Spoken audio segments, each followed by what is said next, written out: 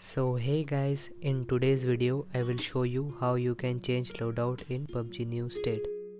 Go to maps and select station beta. Click on the gun preset icon at the bottom left. Select your desired gun and its attachments.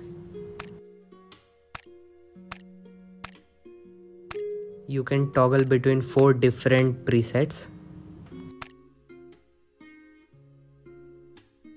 You can directly access to the gun presets from the main menu if you have selected the station beta map. So that's it for the video. See you guys in the next one.